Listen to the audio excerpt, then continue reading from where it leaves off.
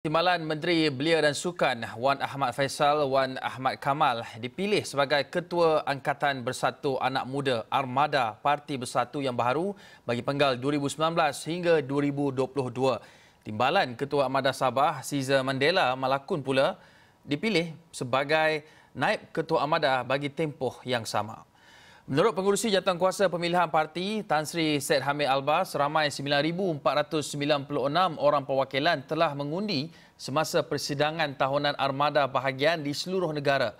Daripada 173 bahagian armada yang layak bersidang, 164 telah berjaya mengadakan persidangan, manakala 9 bahagian gagal bersidang kerana ketiadaan korum. Pemilihan yang julung kali diadakan itu turut memilih pengurusi tetap, timbalan pengurusi tetap dan 15 ahli jawatankuasa armada.